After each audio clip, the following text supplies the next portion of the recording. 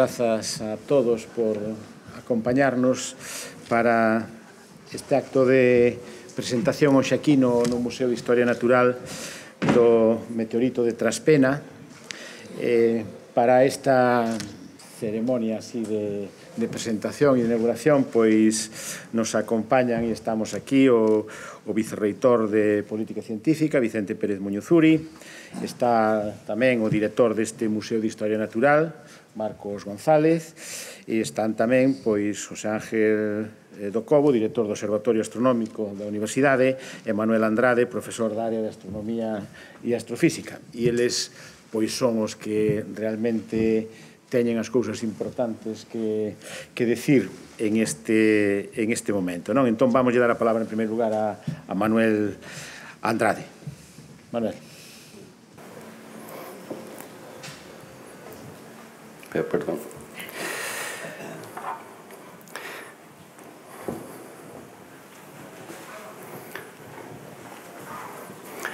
Ben, bon día a todos. Agradezo aquí a presenza do reitor, do vicerreitor de Política Científica, do meu compañeiro José Ángel do Cobo, que con certeza de Marcos González.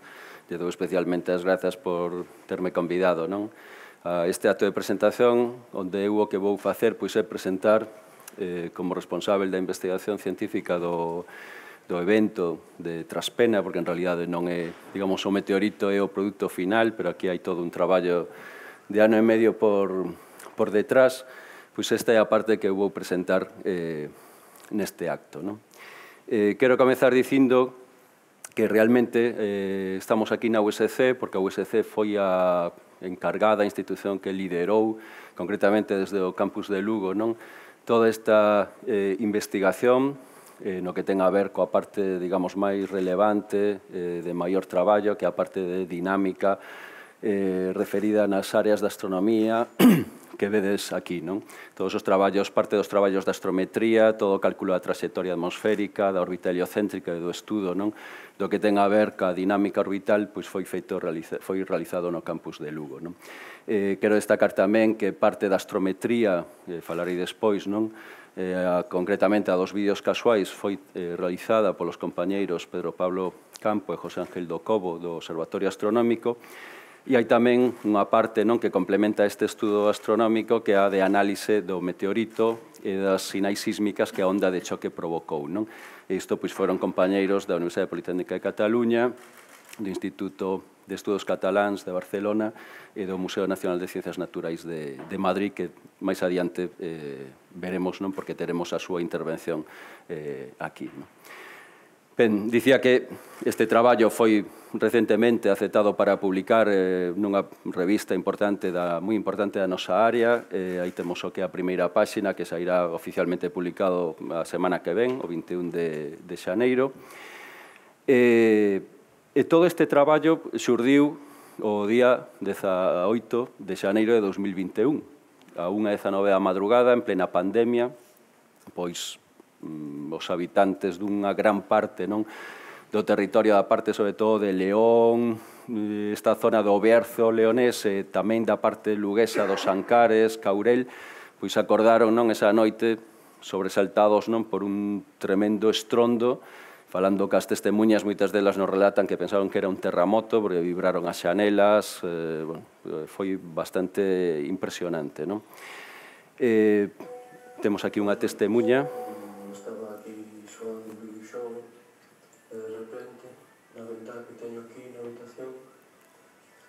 sucedeu completamente, puxose Xosé Vermelho, Vermelho.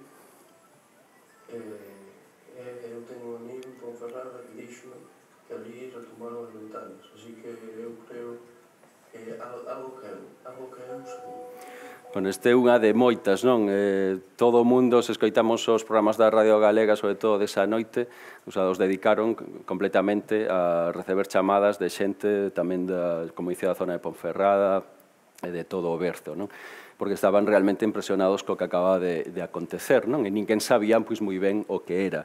O día seguinte temos os titulares dos principais diarios, non? Eh, de algúns dos diarios locais, incluso tivo relevancia, digamos, a nivel eh, estatal, comparouse co evento, non? Acontecido hai uns anos en, en Rusia, non? Eh, o famoso eh, meteorito de Chelyabinsk, e non estaban desencaminhados. Non? En realidade, a pesar de que esa noite mmm, non era unha noite estrelada, sobre todo no que era o norte de Galicia, porque aí vemos a cobertura de, de nubes, estaba realmente coberto todo, toda esa parte do territorio, pois, ainda así, este evento foi o suficientemente espectacular para eh, que moita xente dese constancia del. Non?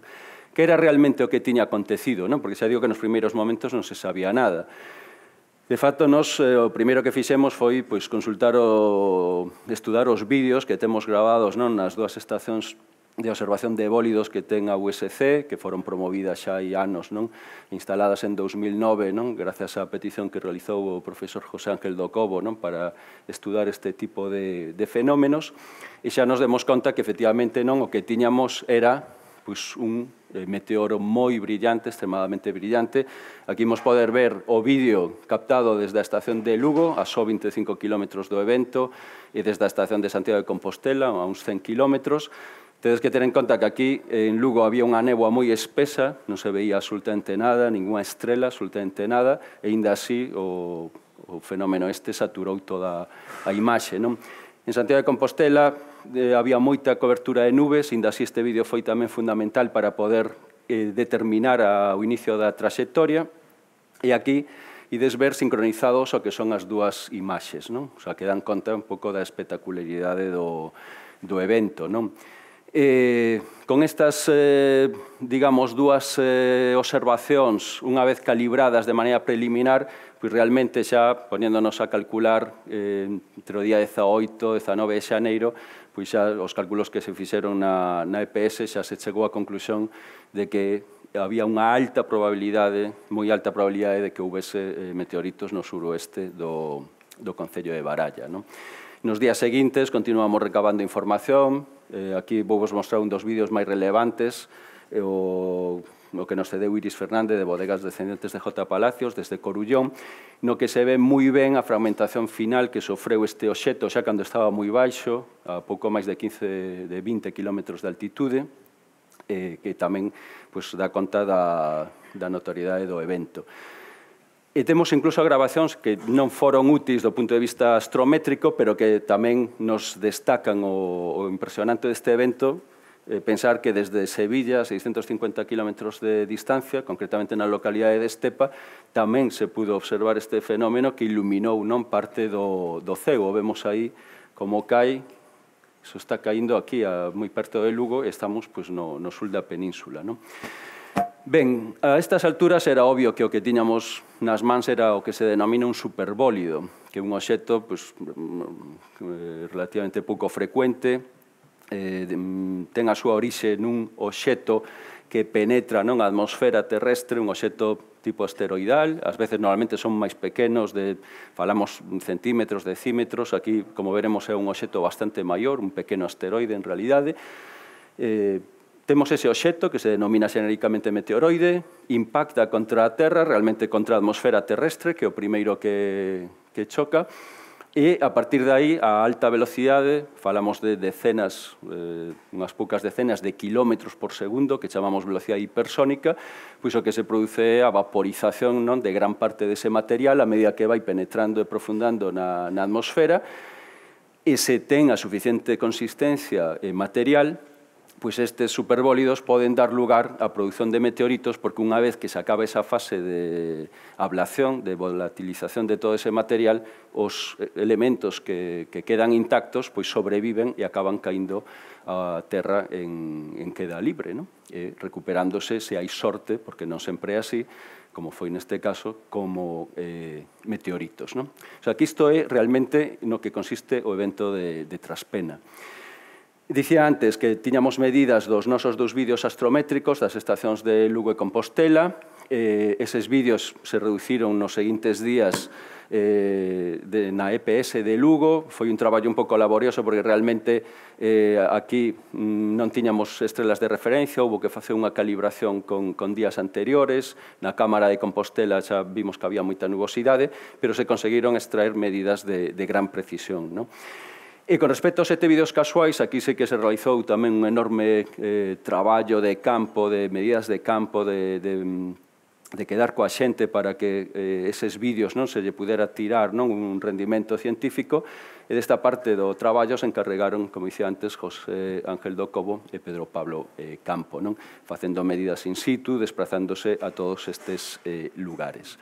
Co cal, de todas estas, eh, digamos, nove lugares desde o que se pudo observar o fenómeno, conseguimos obter 31 liñas visuais a ese obxeto en diferentes eh, momentos do, do tempo.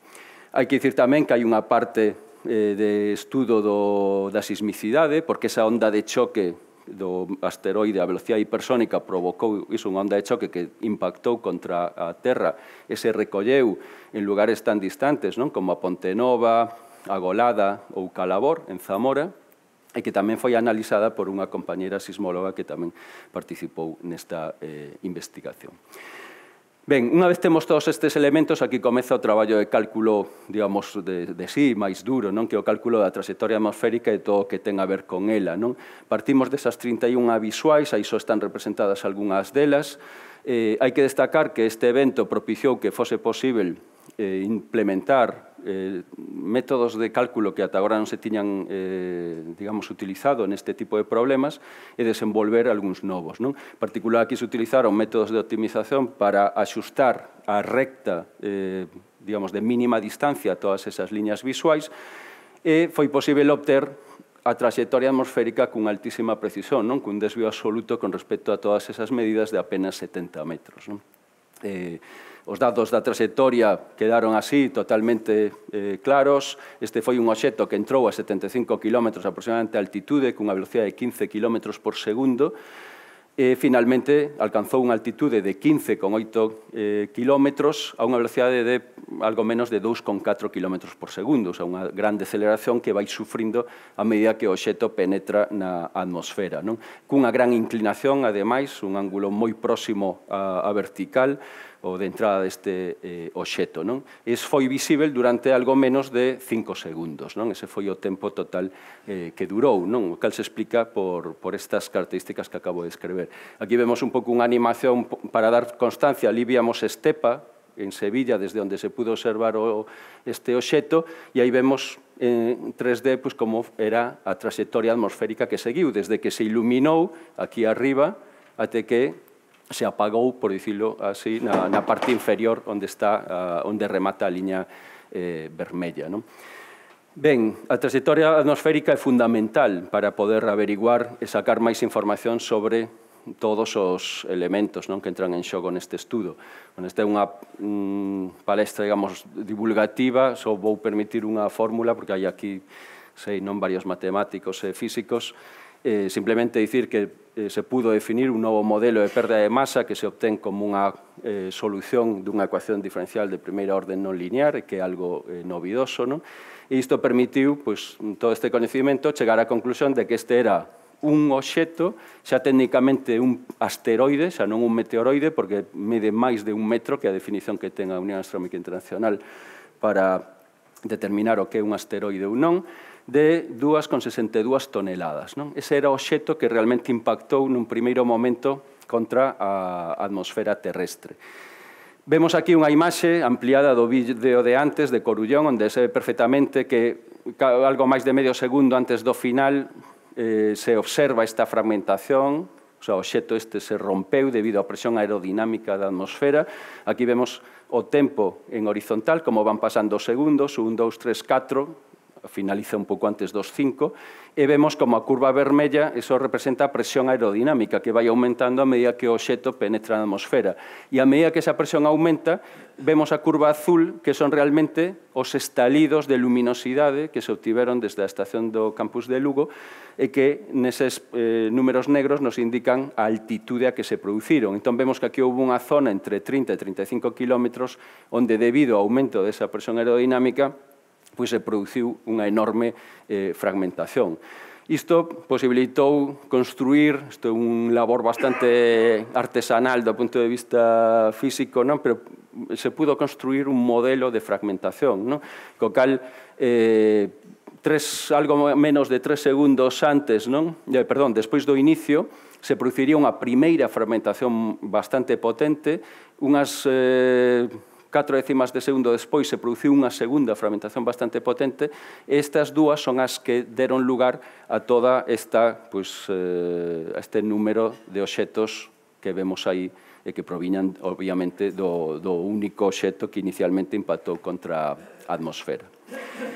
Ben, unha vez remata esa traxectoria atmosférica, que é a fase luminosa do fenómeno, ven o que se chama o voo escuro, porque aquí a velocidade xa diminuiu tanto, inda se era de algo máis de 2 km por segundo, que unha velocidade eh, supersónica, pero moito menor que a que impactou inicialmente, e aquí entramos na fase de voo escuro, porque realmente xa non vemos ese obxecto.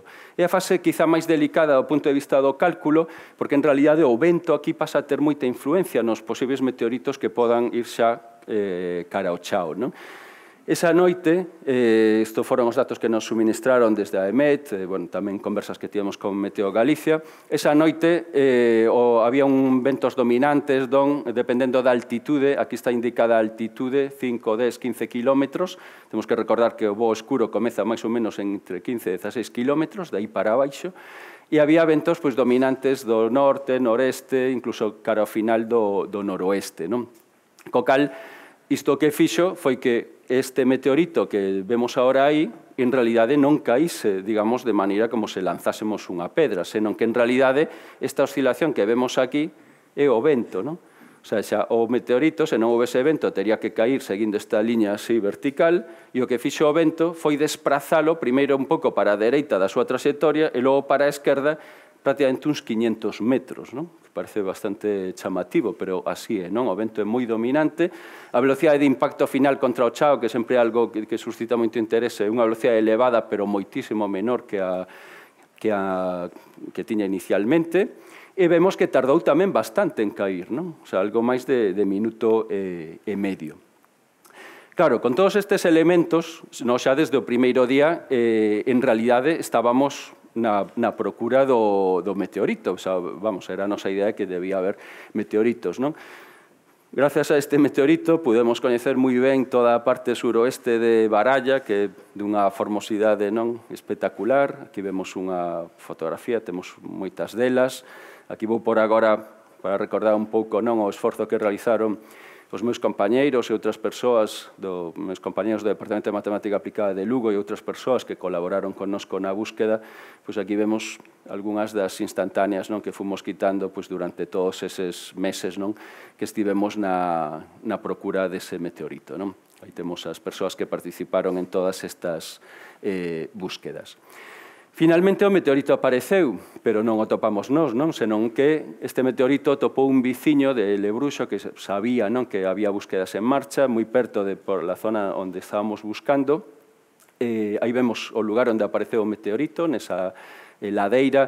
Pensamos que realmente pudo ter caído un pouco máis arriba e ir descendo non? Co, co tempo, E creemos tamén que pode haber aínda máis fragmentos. O que pasa é que eh, co tempo xa que transcorreu, pois realmente faise difícil que se podan topar, porque ao final se van, digamos, metaforsean, o sea, tornándose moi parecidos aparentemente no aspecto ás rochas que temos eh, aquí externamente, me refiro. Non? Pero pensamos que podería haber dous eh, fragmentos un pouco antes na, na traxectoria. Realmente, somos optimistas porque realmente o cálculo final que fixemos só nos desviamos 31 metros do, que, do lugar onde apareceu o meteorito cando en realidade, incluso tendo en conta non a incerteza do vento, habitual é que haxa unha incerteza de 300 ou 400 metros nesta determinación do, do cálculo.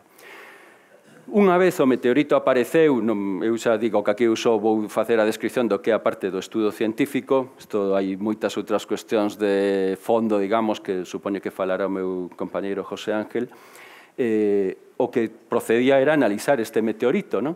Disto se encarregaron estes dous eh, xeólogo e químico respectivamente, Javier García Guinea, do Museo de Ciencias Naturais eh, Nacional de Ciencias Naturales de Madrid e Jordi Llorca da Universidade Politécnica de Cataluña. Vou ceder a palabra agora para que les mesmos pois Hola a todos.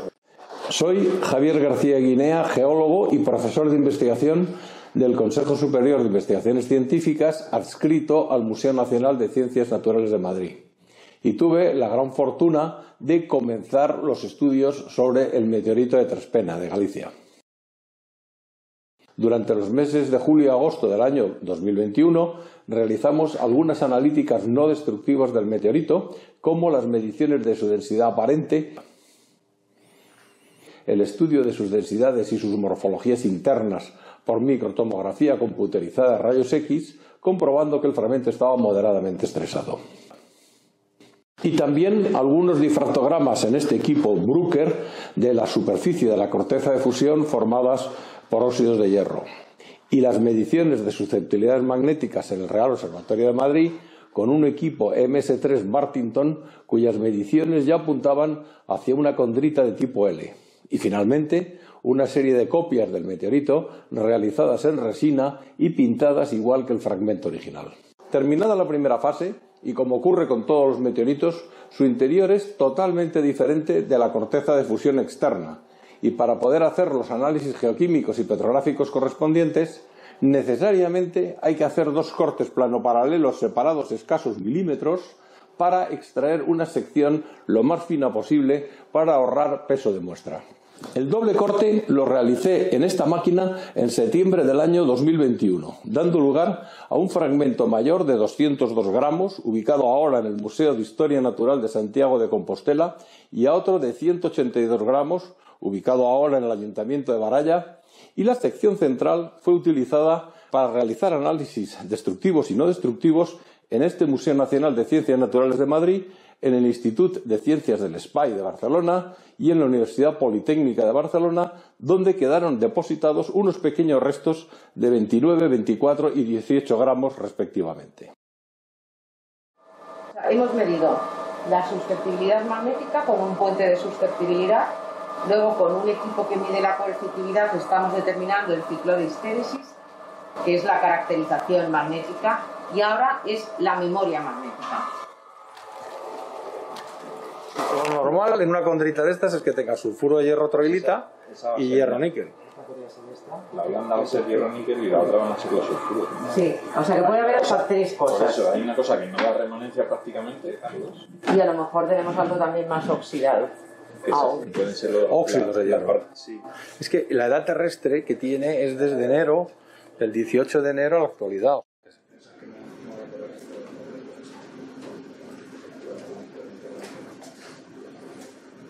Los depósitos de muestras de meteoritos en los centros oficiales son de obligado cumplimiento por parte del Meteoritical Bulletin para dar de alta a cualquier nuevo meteorito en su listado y así poder validarlo internacionalmente. A partir de todos los análisis magnéticos, geoquímicos y petrográficos realizados por los grupos analíticos del mismo equipo de Villalbeto, con el añadido de sus colaboradores más jóvenes, ya se pudo clasificar el fragmento como una condrita ordinaria L5 con venas de estrés S3 y una densidad aparente de 3,25 gramos centímetro cúbico. La singularidad del meteorito de Traspena no radica en su tipología de condrita ordinaria L5, sino que se trata del único ejemplar de meteorito recogido en Galicia.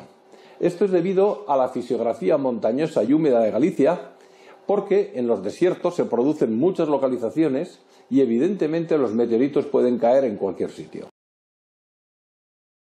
Paso ahora palabra a Jordi Llorca. Hola, soy Jordi Llorca de la Universidad Politécnica de Cataluña y uno de los integrantes del equipo que ha estudiado la caída del meteorito de Traspena en Galicia. Es para mí un honor participar con vosotros en este acto de hoy de presentación de este meteorito y una alegría, puesto que encontrar meteoritos nuevos siempre es interesante tanto a nivel de patrimonio como a nivel científico. Os voy a explicar un poco los resultados de, los análisis de este meteorito y qué podemos concluir de su estudio. Se trata de una condrita ordinaria. Las condritas ordinarias son el tipo más frecuente de meteoritos que tenemos hoy en día y sabemos que provienen del cinturón de asteroides. Tenemos otros meteoritos que provienen de la Luna y de Marte, que son más raros. Traspena es una condrita ordinaria. Concretamente, para conocer eh, su interior y la composición de sus minerales, se realiza una lámina delgada. Eso significa sacar como una loncha del meteorito y hacerla muy finita para permitir el paso de la luz a su través. Con esta lámina delgada utilizamos después un microscopio para estudiar cómo son los minerales.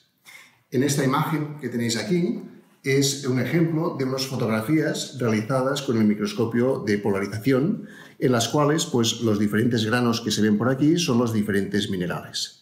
En esta parte de aquí, por ejemplo, veis una, eh, una, mm, formación redonda. Se trata de un cóndrulo que esto se formó en los inicios del sistema solar. Este cóndrulo pues, está rodeado de distintos minerales, algunos de ellos indicados con estas flechas. Por ejemplo, esto es olivino, esto es piroxeno y esto es plagioclasa que son los silicatos más simples que conocemos y que son los que eh, se encuentran en el sistema solar, puesto que las condiciones son muy distintas, por ejemplo, a las terrestres en las que encontramos otros minerales más elaborados como el cuarzo. Esta imagen es de microscopía eh, con un microscopio óptico, lo mismo con un microscopio eh, electrónico, pues nos permite ver con más detalle esta formación, estos minerales, como por ejemplo los minerales metálicos, eh, pues son aleaciones de hierro y níquel, etc. A partir del análisis de cada uno de estos minerales de manera individual, se puede uh, plotear, ¿no? se puede poner um, la, o se puede clasificar el meteorito. En concreto, se utiliza normalmente el contenido en hierro del olivino y se um, representa en función del contenido en hierro del piroxeno y se definen así tres familias, H, L y LL, en función del contenido de metal uh, que contiene el meteorito. Como podéis ver, Traspena pertenece a la familia de las condritas del tipo L. Lo mismo se puede hacer con otros tipos de análisis, como por ejemplo el contenido de cobalto en la camacita, que es una de estas aleaciones de hierro y níquel, en frente del contenido en hierro del olivino. En este caso también nos está indicando que se trata de una condrita L. A partir de aquí eh, se hacen otros estudios para, a partir de la asociación de los minerales, saber cuáles son las condiciones de formación de este meteorito. Por eso se clasifica después con, un número, que es en este caso de Traspena L5, indicando que hubo un cierto metamorfismo intenso en el asteroide de donde proviene. De esta manera concluimos que el meteorito de Traspena es un eh, meteorito, una condrita ordinaria del tipo L5. Vale la pena destacar que lo importante de este meteorito, o una de las particularidades, es que además de poderlo tener en nuestras manos y analizarlo en el laboratorio, conocemos su órbita. Es decir, a partir de los eh, estudios digamos, de su trayectoria atmosférica, se ha podido recomponer su órbita y por lo tanto sabemos muy bien de qué parte del cinturón de asteroides proviene. Es como abrir una puerta al pasado. Conocer la composición de los asteroides es conocer los materiales a partir de los cuales se formaron los planetas en el sistema solar. Ben, como ven di aí, eh, Jordi Llorca, efectivamente, non? o cálculo da órbita que quizá fai singular non a, a este meteorito, porque realmente só hai 43 en, en todo o mundo que teñan asociadas e eh, pudese reconstruir a órbita heliocéntrica, dous no, no Estado español, este é o segundo, e o primeiro eh, aquí na Galiza. Non? Entón, a, a órbita heliocéntrica efectivamente se pudo reconstruir a partir dos datos da, da trayectoria atmosférica, eh, digamos, é unha integración ao revés, non? até chegar a esta órbita que poñemos aquí gráficamente, está en azul é a órbita da Terra eh, alrededor do Sol, que sería este eh, círculo amarelo, e esta órbita en negro pois é a órbita que tiña Traspena, o asteroide, o pequeno asteroide de Traspena, antes do seu impacto o 18 de xaneiro de 2021. Probablemente levaban esta órbita con pequenas modificacións, perturbado tal vez por, por outros planetas eh, levemente, pero levaba pois, probablemente decenas de, de millóns de, de anos até que ese día pois, impactou eh, contra a Terra. Non? Isto é bastante habitual. Aquí vemos eh, os planetas, este daqui azul que estou marcando é a Terra, xirando alrededor do Sol. Todos eses puntos son asteroides, os que están en vermello son asteroides, o que se chaman asteroides próximos á Terra, como era Traspena, que era ademais da familia dos Apolo, que son asteroides que cruzan as órbita, que cruzan a órbita da Terra. Aquí vos poño para que vos fagades unha idea, esta animación é de 2015. Hoxe en día, esta semana, están catalogados máis de 1.200.000 asteroides, dos cais máis de 31.000 son asteroides próximos eh, á Terra. Eh, a peculiaridade, aparte de poder calcular non esta órbita, que xa digo, é algo eh, que o fai eh, singular, se pudo descubrir co, cos ah, estudos que se fixeron na, na Escola Politécnica Superior de Enxeñería no campus de Lugo co cálculo desta órbita, se pudo descubrir que traspena ademais é o oxeto de todos os eh, que deron lugar a meteoritos en todo o planeta que cruzaba tanto a órbita de Marte como a de Venus coa mínima distancia ao Sol e cunha órbita máis circular, non? o que o fai pois, incluso especial dentro desa, do punto de vista dinámico dentro desa lista de 43 eh, oxetos. Ben, vos poño aquí unha imaxe que imos ver agora que se vai ver o fogonazo do, do, do bólido, aí está, vedes que son 2 horas 18 minutos, e aquí saltamos 3 minutos 21 segundos e imos escoitar agora o son que produciu este oxeto ao impactar contra a atmosfera. Non? O sea, despois de 3 minutos 20 segundos, a onda de choque chega ao Chao, a esta localidade de Cueto, moi perto de, de Ponferrada. É unha grabación, hai, hai algunha máis, a primeira grabación do estampido sónico dun eh, meteoroide, dun asteroide eh, chocando contra a atmosfera, é do ano 1970, o coñecido astrónomo Pick fixe un pequeno artigo sobre esta cuestión do, do estampido sónico, e ali é moi interesante porque xa describía, non sei se escoitastes agora, que o ladrido dos cans, non? naquel caso era unha cámara de audio que un ornitólogo tiña intentando gravar o canto dos paxaros e sucedeu eh, esa entrada dun asteroide, dun meteoroide. Aquí se pudo gravar e ademais eh, se fixo un estudo acústico, non? un análise acústica da onda, eh, desa onda de choque do punto de vista acústico. Claro, cando temos unha onda, aí temos frecuencias, cando temos frecuencias, isto nos pon no, no campo da música, E o que sí, eu creo que é a primeira vez que se fai o que podemos chamar non a banda sonora non do eh, meteorito de Traspena, que sería trasladar, salvando o tempo, claro, porque isto sucede en, en fraccións de segundo, estirando o tempo do punto de vista musical, pero pondo exactamente as mesmas notas que, que se ven aí nese, nesa análise, pois o que temos esta melodía que imos escoitar agora, é moi breve, pero é curioso non? Que, que soe desta maneira. Non?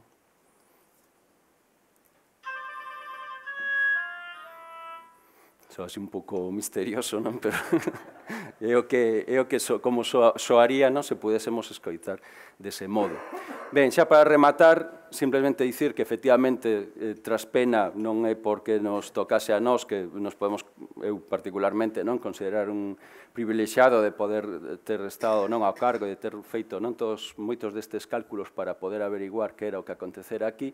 Digo que non só é singular nese sentido, vemos aquí que realmente un obxeto deste tamaño, falamos xa de algo máis de un metro, eh, por probabilidade non, eh, aquí será difícil que algún de nós o volva a ver, acontece en promedio cada 700 anos, en toda a península cada eh, 35 anos, pero en realidade non a singularidade de, de Traspena pois reside un pouco resumida no que poño aí. Non? Temos o primeiro meteorito caído na Galiza, o segundo non na Península Ibérica, o número 43 de todo o planeta con órbita heliocéntrica, ademais cunha órbita que eh, está en, en estudo non para poder ver todo, toda a información que nos dá, porque xa sabemos o que vos dicía antes, non? que un cruzador das órbitas de Marte e de Venus que, que, que é especial, porque é o único que o fai con eses parámetros orbitais, E ademais isto deu lugar a que, como se recolle na publicación que vos puxen ao principio, se eh, desenvolvesen novos modelos matemáticos e técnicas, algunhas delas empregadas por primeira vez neste,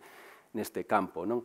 Con isto pechase todo este, digamos, mm, eh, camiño non? que se abriu aí, fai agora xa, a semana que ven, se cumpre o segundo aniversario da, da queda, eh, por fin, non? Despois de moitas vicisitudes, eh, bueno, moitas cousas que, que me deixei no tinteiro, algunhas das que aí supoño falará agora eh, o meu compañero José Ángel, pois realmente temos o, o meteorito aquí no, no museo, non?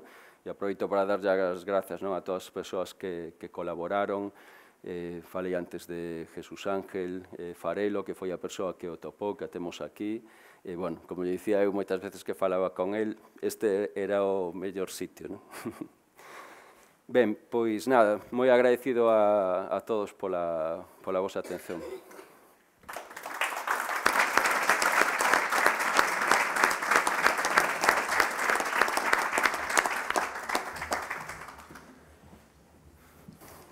Pois moitísimas grazas e ten agora a palabra José Ángel do Bos días a todos e a todas. Señor Reitor, autoridades académicas, eh, todos os presentes. Nestes poucos minutos que temos para, para falar, eh, pois permitirme que use unha chuleta porque así, así polo menos vou tentar de non esquecerle de nada que quero dicir. Bueno, primeramente teño que comenzar dicindo que dende hai décadas no Observatorio Astronómico mm, vimos estudiando este tipo de fenómenos luminosos eh, tanto por interese profesional como sobre todo tamén para dar unha explicación científica á, á sociedade. Non? Hai moitas veces que a xente alarmada nos chama para preguntar que pasou esta noite, etc. etc. Teño que dicir que na meirande parte dos casos tratanse efectivamente de, de obxectos naturais, como é o caso que acaba de, de comentar Manuel, por certo, unha magnífica exposición, eh, pero tamén, aparte de, dos bólidos, pois, en outros casos tamén eh, nos atopamos con reentradas de foguetes que poñen en, en, en órbita satélites artificiais ou mesmo foguetes que levaron equipamento á Estación Espacial Internacional eh, fai pouco no, na, na, en plena pandemia, en abril do ano 20, tivemos un caso precisamente dunha reentrada que se veu perfectamente en Galicia pola mañán. E incluso, a parte dos bólidos, das reentradas, pois no ano 2004 eh, tivemos outra experiencia, en este caso rarísima, verdad? que foi moito máis lenta, un, unha luz moito máis lenta, e en ese caso pois, tratouse de un misil militar. Eh, isto eh, foi sobre o Océano Atlántico por suposto que ninguén, ninguén sabe nada desto, nada máis que nós. Eh, debo dicir tamén que no bólido, mm, no bólido que tivo lugar no, en xaneiro de 2004, que eu tive a oportunidade casual de verlo sin prevista de Santiago, pois tamén participei en esa investigación e aí tamén caeran meteoritos. Non? Por iso eh, cobra máis peso, verdad, o que se acaba de dicir agora, de que naquel caso mm, o bólido era de menor intensidade que o actual de, de Baralla e, por, por tanto, a probabilidade de que haxe efectivamente máis meteoritos na zona, pois eu penso que realmente ten peso. Eh? Outra cousa é localizarlos, claro. Eh, bueno, eh, hai tamén bólidos diurnos, eh? non solamente ocorren estes sucesos de noite, hai bólidos diurnos a plena luz del día. O que pasa que, lóxicamente, son moito máis difíciles de observar e de acadar datos. O último deles foi o Día das Letras Galegas do ano 2016, eh? un, un bólido que atravesou o Baixo Miño, eh? e hubo bastantes detonacións. O que pasa que a meirán de parte da xente pensaban que eran foguetes do Día das Letras Galegas pero realmente foron detonacións do propio bólido. E estamos certos de que ali tamén quedaron meteoritos. Que pasou? Pois que ao cabo de uns meses toda esa zona ardeu, no outono de 2016 ardeu completamente, bueno, e foi prácticamente imposible pois, organizar unha, unha expedición á, á zona, non? Como ben dicía Manuel, pois efectivamente no ano 2009, pois o Observatorio Astronómico pois mercou pois eh, dúas dúas equipacións de, de vídeos para monitorizar o CEO, ¿verdad? E, e desta forma, pues, darlle, digamos, un, unha innovación ¿no? a, no, a nostras investigacións no nosto, nosto eido, que non é a principal liña de investigación do observatorio, pero como moitas outras máis, pues, tamén hai, hai que dedicarse a elas. Non? Entón, efectivamente, eh, instalamos no observatorio catro das cámaras e as outras catro pues, foron para Lugo, precisamente porque estaba Manuel aí, claro, eh, podíase traballar en doble estación. Entón, eh, precisamente estas dúas cámaras, como ben eh, ten dito el, pois foron, eu diría que prácticamente decisivas no? para, para esta investigación. Eh, a parte diso, como tamén se dixo antes, pois efectivamente a contribución do observatorio como tal tamén eu penso que foi importante, non? sobre todo para a calibración de varios vídeos que finalmente aportaron datos moi precisos da, da posición non solamente da posición, xa, tamén dos instantes no que o, o bólido pois, atravesou a nosa atmosfera. Como teño dito eu moitas veces, pois para calcular boas órbitas son necesarias moi boas os datos de observación. O mesmo día 18 de xaneiro de 2021, cando aconteceu este suceso de, de Baralla, xa me pediron os vídeos do observatorio dende o estranxeiro. Evidentemente, a miña resposta foi que eh, que nós xa na Universidade de Santiago íamos ser quen de facer a investigación do fenómeno e que admitíamos colaboracións, pero non ao revés. E, por lo tanto, eh, efectivamente, eses, eses vídeos necesariamente pois, non foron enviados, claro. O meteorito atopado por Jesús Farelo, que non o vira ata agora, eh, nunha finca a súa, de a súa propiedade, podese dicir que é galego 100%. Non somente porque o bólido solamente atravesou o ceo da provincia de Lugo, senón tamén porque efectivamente apareceu nun prado de Baralla, eh?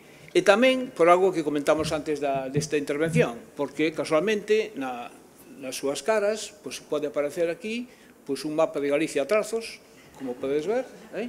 ou incluso como Xuxir Manuel, eh, se poñemos deste outro xeito, pois é un mapa do antigo reino de, de Galicia. Non? De maneira que nese, nese, nese senso podemos estar eh, tranquilos. Non? Decir tamén que nos todos, pero eu personalmente, dende que apareceu o 18 de, de marzo de hai dous anos o meteorito, fixen todo o posible para que finalmente o meteorito chegara aquí. O noso agradecimento, efectivamente, máis sincero a todas as persoas que colaborarán connosco en esta investigación, dun modo especial, a todas aquelas que nos abriron as portas das súas casas, empresas, etc., para poder facer medicións de campo, etc. etc. Eh, ahora vimos aí un vídeo que puso Manuel sobre el vídeo de Corullón, Ese foi un vídeo realmente, penso que decisivo, foi para mí o mellor de todos eles. Eh? Alí en Corullón, nas bodegas de descendientes de J. Palacios, nos permitiron entrar, facer medicións en situ, co teodolito, había dos cumios ali enfrente onde estaba o teodolito que era, era necesario medir con precisión dende a posición onde están as cámaras, verdad? E estivemos, foi unha magua, non poder facer unha foto daquela, nos esquecimos da cámara, Pedro, porque estábamos co teodolito posto nunha ladeira completamente inclinada, vamos, aquilo era... Eh, heroico, digamos, non? pero finalmente os datos os, os, os pudimos traer a Santiago. Por suposto, tamén dicir que eh, tamén, lóxicamente, a xente que participou, como dixo Manuel, na, na busca do, do meteorito, e, e non hai que esquecer que toda esta investigación pois, ten un coste, claro, ten un coste que neste caso pois, levouse a cabo grazas a, a un proxecto de consolidación da Xunta de Galicia. Decirse finalmente que esta investigación eh, foi moito máis alá do puramente científico. Non? Houve que facer moreas de xestións que non figuran en ningures. Non? Tocounos tamén o peor momento, o confinamento. O sea, tivemos que desplazarnos os primeiros días algo con un permiso de excelencia da universidade, porque daquela non se podía viaxar por Galicia, pero a nosa sorpresa foi que cando chegamos alá, pois xa había outra xente que estaba buscando en meteorito. E, e, e veu de moito máis longe que nós. Eh? veu de, de Cataluña, de outros sitios, tal. Non? Eh, non lle preguntamos. Non lle preguntamos. E logo tamén comentar, verdad, que efectivamente a zona, como comentou Manuel antes, é eh, dunha orografía moi complicadísima, moi complicada, non? O sea, ali hai de todo. Hai, hai outeiros, hai vales, hai ríos, hai praos cheos de vacas, eh, a meteoroloxía tampouco axudou moito, eh, pero bueno, Mm, as cousas son así, non? Como veñe. non? E, e xa para rematar, decir que, bueno, que todas estas vivenzas pois, de todos estes dous anos, pois eh, aquí temos argumento para facer unha novela ou unha película, incluso emulando a Julio Verne, a súa novela, que non sei se a coñecedes, A caza del meteoro. Eh? Pois hai, como digo, hai argumento de abondo para facer algo semellante ou incluso mellor. Señor Reitor, eh, unha vez máis, a UCC deu a talla.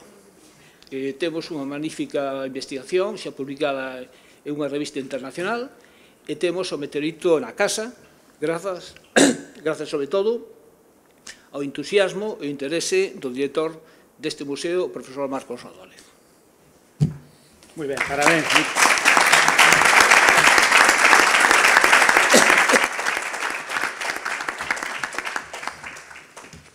Parabéns a, a todos os que tiveron algo que ver no, no chádego, no análise, no estudo, pelo para aquí, nesta presentación. Un placer estar aquí. E, bueno, damos agora a palabra ao director deste, deste museo, a Marcos González. Bueno, pois o primeiro é agradecer sinceramente ao noso reitor a súa presencia neste acto. É un verdadeiro placer telo novamente no museo conosco un agradecemento que fago extensivo ao señor vicerreitor de Política Científica. Moitas grazas tamén ao profesor do Cobo e ao profesor Andrade, ao que felicito ademais por a súa didáctica e brillante exposición, por estar con nós, como non podía ser de outro xeito. E tamén a esas personas que participaron no brillante estudio científico que pertenecen a institucións relevantes como o Museo de Ciencias Naturales ou a Universidade Politécnica de, de Cataluña, sin olvidar que aquí nesta sala hai outras personas, membros do equipo investigador que están gentilmente acompañándonos. Por outra parte, a miña máis cordial benvida a todos os asistentes que gentilmente aceptaron gustosamente a nosa invitación.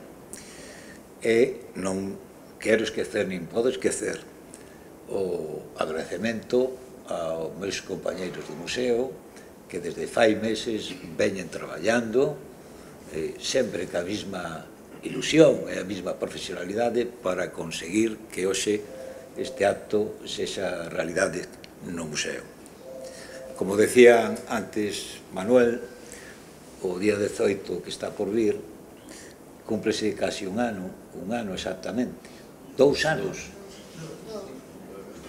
Dous anos. Uf, o que levamos traballando, o sea. Dous anos desde que o, o asteroide visitou a nosa comunidade. Eh, eu que sou investigador, pero alleo ao campo de astronomía, en principio, cando tomei contacto cos profesores Andrade do Cobo, pensaba como pensaba os, o noso vicerreitor dicir, canto barullo por unha pedra. Pero, como xa quedou patente, isto non é unha pedra. Isto é, en realidade, un libro caído do ceu que ten unha apariencia dunha pedra. É un libro que contén unha información que expertamente traducida e interpretada proporciona unha información valiosísima como é a orixe do sistema solar e dos planetas. Eh, tamén, como se dixo, isto non é un meteorito cual, eh, calqueira.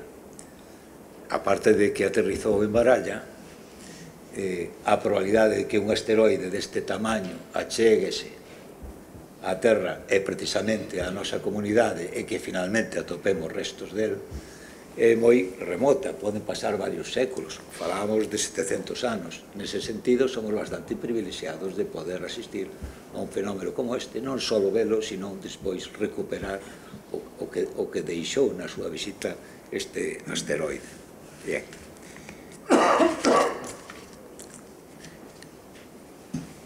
O profesor eh, do Cobo comentaba na súa intervención que as investigacións a vista están, son especialmente meritorias.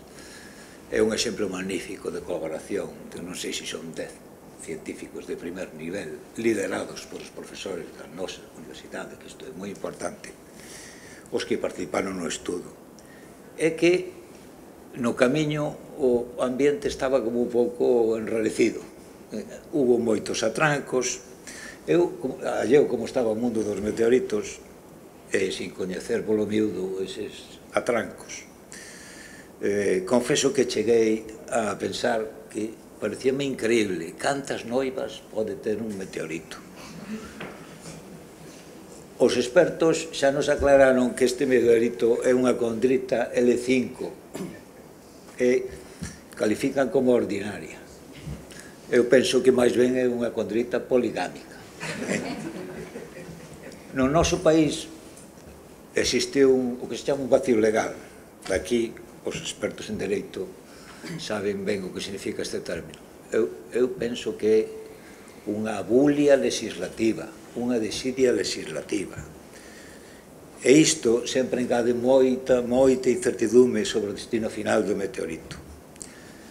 Os que estamos aquí na mesa e moito outra xente coñecedores da importancia, conscientes, da trascendencia patrimonial científica deste meteorito, puxémonos a traballar durante meses para tentar, eh, o profesor Andrada, o profesor Docó, máis eu, eh, que esta meteorito incorporásese ao patrimonio xeolóxico do noso museo. Como finalmente xa vemos que o resultado foi exitoso, non? Lembro, lembrome que nestes meses que intercambiamos moitos mensaxes eh, cando a cuestión estaba un pouco complicada, díxenlle o profesor do Cobo que a min parecíame que este meteorito na, na última parte da súa trayectoria, a parte terrestre, que é desde Lugo, Baralla a Santiago, que son un certo de kilómetros. Esa trayectoria era máis sinuosa e complexa que todo o viaxe do asteroide por o sistema solar. O profesor do Cobo eh, díxome con certa ironía astronómica, certo, pero que o meteorito, desde o cinturón de asteroides hasta chegar á Terra, viña dirixido por a forza da gravidade. Se non recordo mal, engadeu, pero cando aterrizou en Baranja, a gravidade foi outra. bueno, comprendino perfectamente, eh, o certo é que tivemos entre as partes interesadas sempre conversacións amigables, a verdade, e presididas desde o principio pola vontade e o convencemento de que este meteorito non debía sair de Galicia. Como dixo o profesor do Cobo, xa levaba o sello de Galicia. Non sei se é un exceso de, fa de fervor patriótico, pero eu tamén vexo a silueta da nosa comunidade perfectamente diseñada no meteorito. Manuel prefere ver o antigo reino de Galicia, pero en calquer caso é o mismo. E ao final adoptouse unha decisión que en términos bíblicos podíamos decir salomónica, salomónica. O meteorito estaba partido en dos trozos e acordamos o que satisfizo a todas as partes que unha das partes, que para min é a principal, por, por un pouco máis de gramos, e, e ademais, porque ten a silueta de Galicia, que, que quedara aquí aloxado para sempre no museo e outra parte no Concello de Baralla. Xa se explicou aquí que isto non é un meteorito calqueira.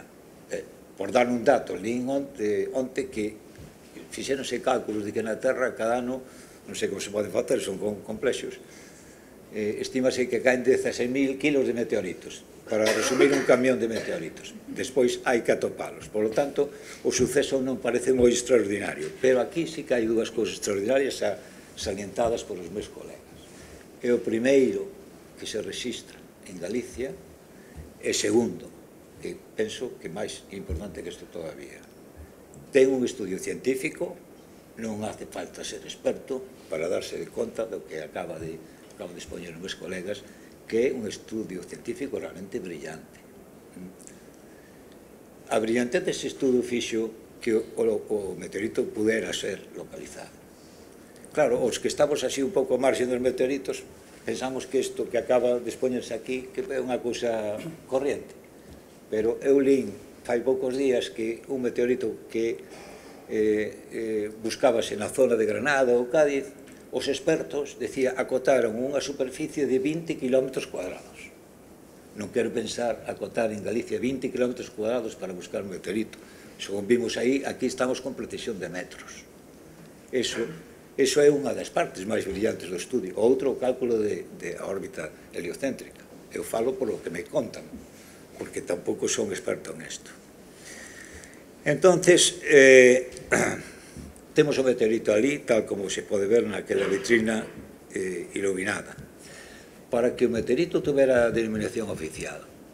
Eh, porque como chamamos o meteorito? Non chamalle de baralla, chamalle de traspera. Non, non, non. Ah, está normativizado E para que ese meteorito tuvera un nome oficial, meteorito de Traspena, que foi o nome que se propuxo, previamente tiña que estar publicado, antes de estar publicado tiña que aprobarse o nome, e para, para aprobar o nome, a Sociedade Internacional de Meteoritos exixía que esa peza estuvera depositada nunha institución pública solvente, a que estuvemos dous, tres meses ou máis eh, tramitando as cousas, cumplindo as exigencias da Sociedade Internacional de Meteoritos, entre elas, bueno, a, a salvaguarda, a custodia perfecta da peza, e o que máis importaba parecía era que a peza pudera ser accesible á comunidade investigadora, porque isto é unha función de outro museo, non é guardar as cousas e salvalas, sino tamén poñelas ao servicio da comunidade investigadora.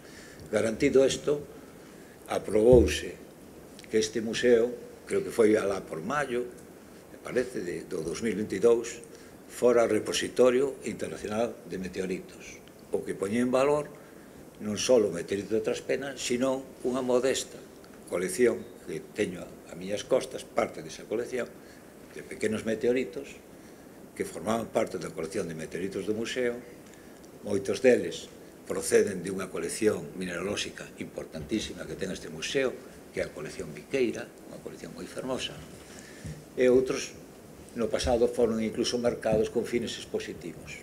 Pero neste, neste mural que teñen aquí hai dúas pezas eh, especiales. Evidentemente o material de traspena é unha delas. E outra está xusto no extremo, esa, esa pequena pedra, que é o meteorito de Cangas de Onís. Ese meteorito cumprise fai pouco tempo o século e medio desde que foi avistado o bólido, el, a diferencia deste, fragmentouse en moitas pedras, tuvo grande zona e foi moi estudiado. Bueno, pois hai moito tempo, un rector da Universidade de Oviedo, ilustre naturalista, fixo un regalo ao rector da Universidade de Santiago. Ese regalo foi o meteorito de Cangas de Onís. A parte do meteorito de Cangas de Onís e o meteorito de Traspena, hai unha dúcia en total de meteoritos e todos eles están actualmente inventariados nas bases de datos internacionales porque era unha exixencia tamén da Sociedade Internacional de, de Meteoritos. Bueno, pois, eh, eu como director do museo estou, estou moi satisfeito hm, de que o meteorito finalmente unha parte aterrizara en este museo vai estar exposto neste pequeno recuncho. Por certo, espero que si para os asistentes si o, o escenario non é moi confortable, polo menos que se teño disfrutado, cando menos é un pouco escénico, máis parece un escenario de cuarto milenio, pero a verdade a verdade é que eh, o, non fixemos nada especial, máis que instalar as, o, o, o escenario aquí na sala de, dos meteoritos. A nosa colección é cualitativamente modesta, é unha dúcia de meteoritos que procedencia moi diversa. China, Rusia, norte de África e agora o meteorito de Traspena e outro meteorito español que é o de Cangas. Eh, así que para mí, eh, hoxe, como director do museo, é unha grande satisfacción que o meteorito de Traspena convertase nun símbolo porque realmente é un símbolo da investigación científica da astronomía galega neste campo, e que este símbolo, ademais, poda ser visitado e recordado para sempre por todos aqueles que se acheguen ao museo. E xa para rematar, vou evocar ao noso gran poeta Antonio Machado. Todo pasa, todo queda, pero lo nuestro es pasar. Moi certo, por este museo ao longo de case 200 anos de historia, pasaron moitos naturalistas, ilustres investigadores, ou simplemente cidadáns, cidadáns moi generosos. E todos eles, en cada recuncho deste museo, deixaron a súa pegada. No caso de Meteorito Traspena, como ben se señalou aquí, señalaron o profesor Estocova o profesor Andrade, foron moitos os cidadáns que axudaron tanto na súa busca como aportando información información que foi moi valiosa para o estudo científico. E por iso non me cansarei nunca de repetir este museo é ante todo unha obra colectiva da sociedade cunha participación moi decisiva da cidadanía. Polo tanto, espero que a nosa universidade tome conciencia de que este museo é un dos seus grandes activos patrimoniales É, un, é ademais é un vehículo privilexiado de difusión do coñecemento científico e confío en que o apoie como se merece. Moitas grazas.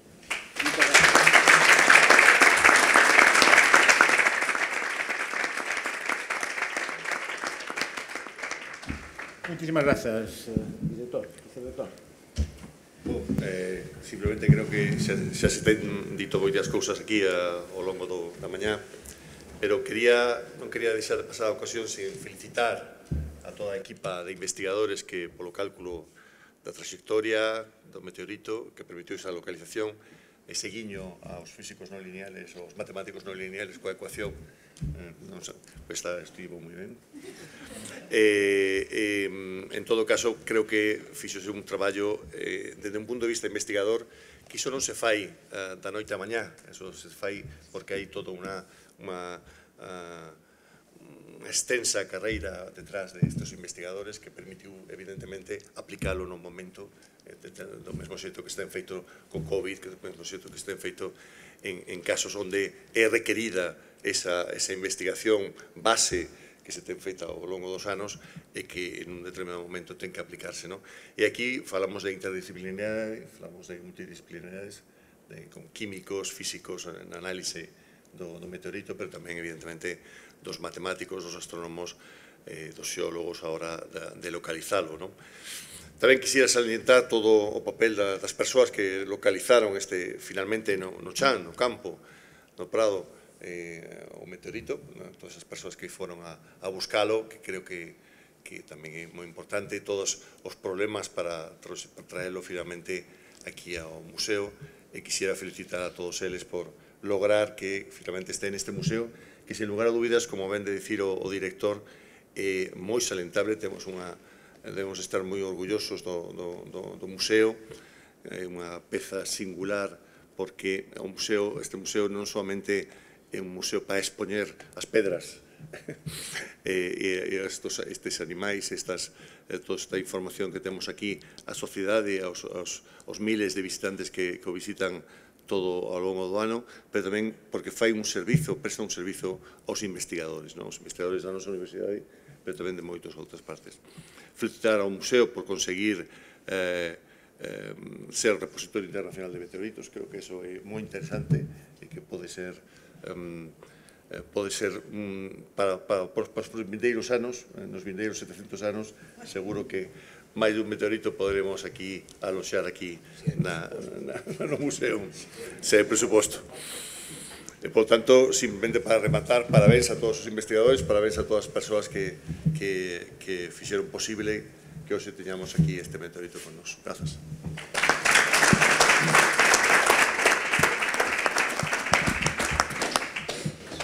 Bueno, grazas, eh, vicerreitor. A verdade é que sí que está todo dito, sobre todo para un que ven do ámbito do dereito, simplemente matizar unha cousa, o director do, do museo dixo que había un vacío legal. Bueno, os de dereito tamén temos feito o noso labor, eh? Un profesor desta universidade, Pepe Lois Estevez, falecido, escribiu, non sei exactamente o ano, pero a mellor hai 40 ou 50 anos, 40 seguro que sí ou máis, un primeiro artigo que era consecuencias xurídicas da caída de un meteorito. Non é broma, é realidade.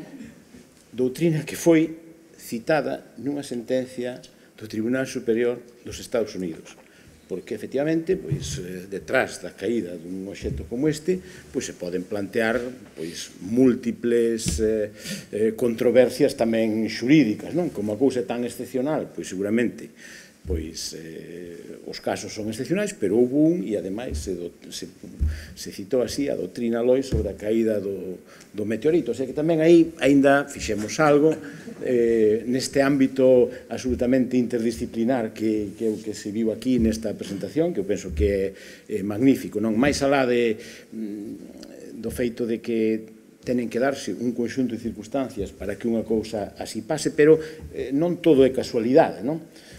digamos, eh, o millor a máis casualidade pode ser atopalo é que alguén non lle dí unha pedra, ou tire unha patada a unha pedra e a tire no río e, non, e o perdamos para sempre, non? Eh, pero sí, o feito de que se pudese trazar toda esa trayectoria, pois ten que ver con que aquí temos un observatorio, con que temos un equipamento instalado aquí, instalado en Lugo, con que temos investigadores neste ámbito, eh, que tenen feito un, un traballo moi valioso ao longo do tempo e eso, pois, o conxunto de todo eso fixo como, como dixo eh, do Cobo cando pedían os vídeos, non? Imos ser quen de facelo, a mí me parece que ese é o, o gran valor, ser quen non só de atopalo, senón de eh, estudalo e facernos esta presentación magnífica e ademais ser quen de xuntar ao redor desta iniciativa pois este, este conxunto de, de investigadores e, bueno, pois poñer aí o, o, o sello tamén da, da universidade, esa solución compartida entre o, o Concello de Baralla e a, o Museo de Historia Natural para albergar o, o, o meteorito, pois me parece que tamén é unha solución pois moi acaída, moi salomónica, pero moi galega tamén, non? ser quen de, de, de compartir e, e neste caso de darlle máis valor. Así que, pois, eh, pouco máis un placer recibilos aquí. Eh, eh, a todos os que quixestes achegarvos, moitos dos implicados no, no estudo, na análise, outros relacionados co feito desde distintas circunstancias, desde a localización en Baralla, etc. etc. E, parabéns polo traballo, pola exposición, pola presentación e eu comparto o que di o director do museo. Temos, bueno, son estas cousas nos que ser unha universidade de 500 anos pois nos dá algunhas destas cousas, porque o museo non se improvisa, non é un edificio que construamos, magnífico como que temos aquí, senón que é o conxunto de todo o que hai aquí, que é precisamente pois, eh, a chega de todo unha, un proceso ao longo de todos estes anos, de moitas persoas que foron legándonos pois, eh, eh, aquelo que tiveron ou que utilizaron para investigar ou que tiveron a man para construir isto que é un patrimonio e que penso que aínda non o temos suficientemente explotado e dado a coñecer en todos os ámbitos, tanto na investigación, pero tamén digo no ámbito do, do coñecemento da sociedade en xeral. Eh, faltanos ser quen de, de que isto teña esa, esa capacidade de atracción e de, e de visita que me parece que merece, porque ademais hoxe está nunhas condicións, e eu felicito aquí a, o director e a todos os traballadores do museo, nunhas condicións me parece que eh, excepcionais, magníficas e que merece a pena que, que sexamos quen de, de traer aquí máis xente e vamos sumando motivos para para chegarnos para chegarnos a ela. Así que un placer eh, o día de hoxe para poder celebrar isto e, e moito ánimo para seguir traballando na investigación no, desde o punto de vista museístico e pois en difundir tamén a cultura e o coñecemento que isto é unha peza, unha peza fundamental. Grazas.